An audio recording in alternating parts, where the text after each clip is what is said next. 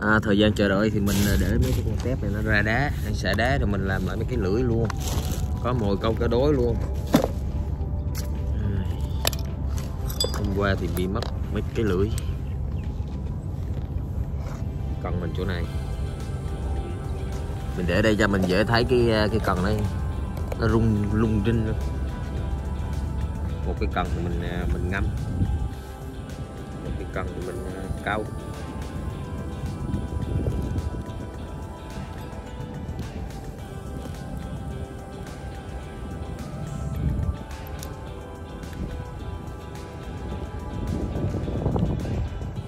đây trời ấm cho nên người ta đi chơi rất là nhiều. Bên này là họ đi câu là thư giãn thôi. Nếu không có thì mình có thể là mình di chuyển đi một cái chỗ khác nữa.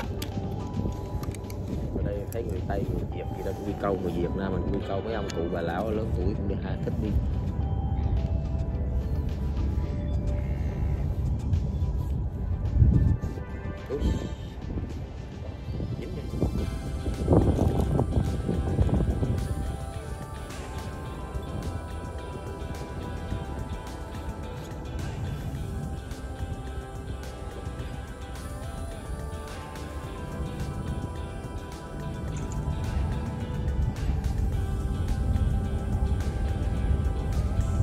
Hy vọng là bữa nay câu có có cá.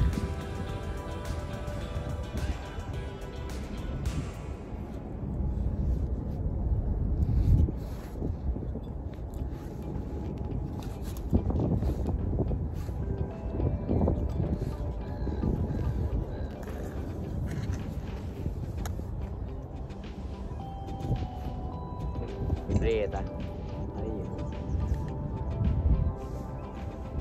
Rồi mùa đông cũng hiếm.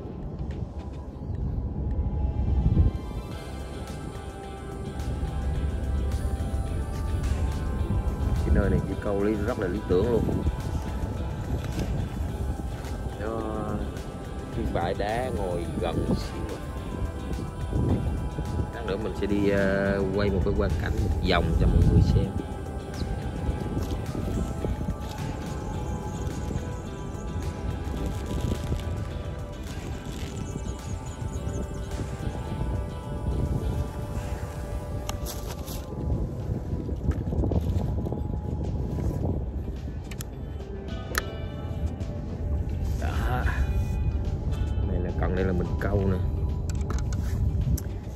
Sẽ à, phục. Mỗi trì vô.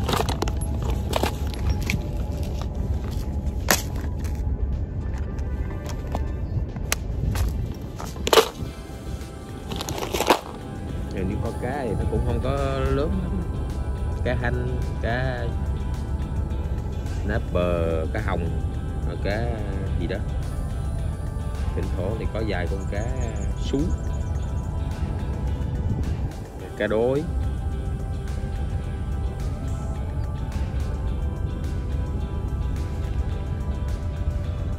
À, nhưng mà dự báo thời tiết thì khoảng ờ, một tiếng đồng hồ nữa là hết nắng. Rồi bây giờ có mấy rồi.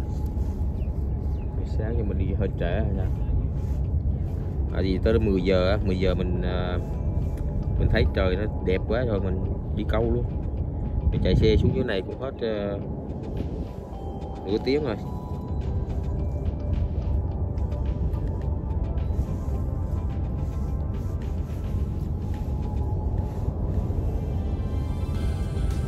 Rồi đi mua mồi vòng vòng cũng mất hết nửa tiếng nữa. Nên bây giờ hiện tại là bây giờ cũng 12 giờ 12 giờ mấy. Hơi trễ. Nhưng mà giờ đó là giờ người ta câu bây giờ là người ta mới đi đâu.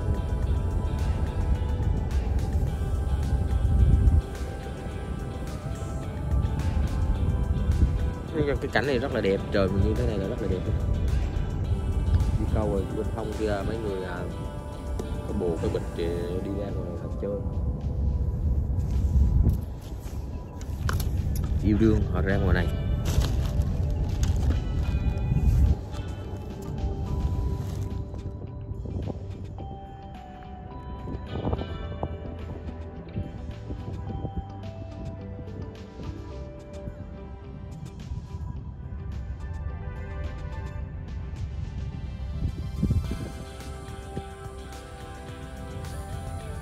Ok xong rồi các bạn. Mình uh, thời gian hồi nãy giờ tôm tép thì nó cũng chưa có ra đá hết luôn. Mình mua một ít tép.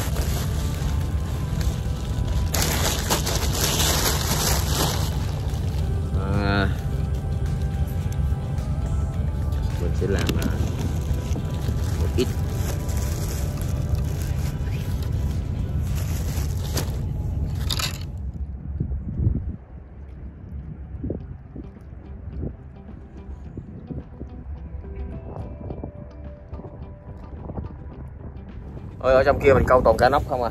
Nên bây giờ là mình quyết định à, mình à, bây giờ là mình đi ra ngoài ngồi xa hơn. Ngoài này đi theo cái kè đá mình đi ra. Ra hiện tại là các bạn thấy ở sau lưng mình những chiếc tàu hàng ở mấy cái cập cảng Melbourne đó. Ở của quốc tế đó bắt đầu nó cập cảng Melbourne. Đang từ từ từ từ nó tiến vô. Thực sự là mình thấy nó lù lù lù lù nó đi chậm nhưng mà thực sự nó đi nhanh. Ha. có những à, chiếc tàu kia này có mấy một có những chiếc tàu nhỏ bắt đầu nó ra như nó lai dắt vô có thể là vậy, nó sẽ kẹp hai bên hay gì đó. Nó đi ra đi ra. Giờ nó chạy vào này, sớm nước đi kìa. Quá trời container ở trên đó luôn. Giờ xuống đây mình ngồi mình câu giờ hy vọng thấy à, mọi người giờ cũng ngồi. Nhưng mà không biết là có hy vọng hay không, thôi mình cứ hy vọng đi. Mình câu hôm nay là có à, vậy đây mình câu cá đối nhưng mà thôi, bây giờ mình à, câu mồi con tuột. Mực. Mực giá.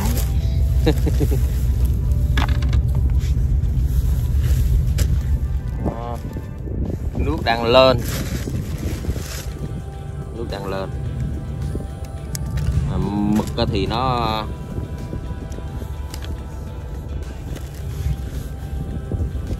nó dài hơn. Nó dài hơn con tôm. Mình sẽ câu một cái à, một cái cần. Một cần này, mình ngâm, mình chờ thời các bạn. Thời tới thì mình à, mình hốt. Thời không tới thì thôi.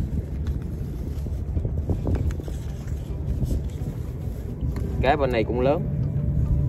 Nhiều khi gặp à, một hai con lớn cả ký ký rưỡi cũng có.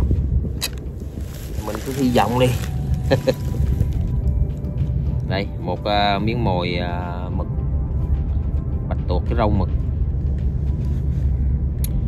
Không biết là nó hiệu quả hay không.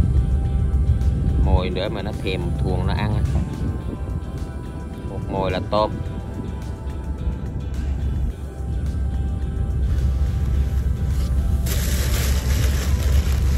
Đây tôm này. Cái đầu nó rụng ra rồi cá ăn là mình không phải ờ, lột vỏ, lột đồ để cho nó ăn. Ăn sang vậy đó.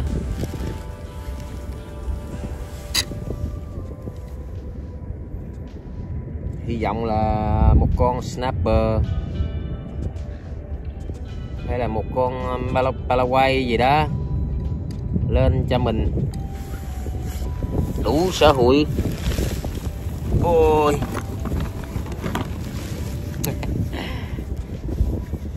Nhìn đây à, ngắm tàu thuyền đi ra đi vô cũng vui.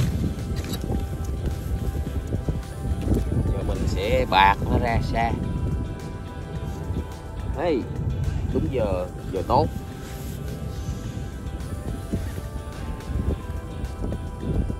Hy vọng mà đừng có dính đá dính rạn. Gì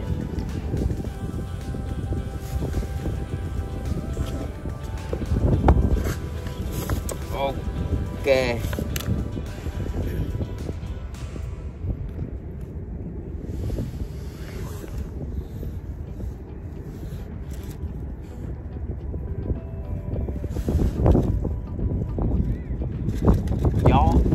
Gió nó rung cái lần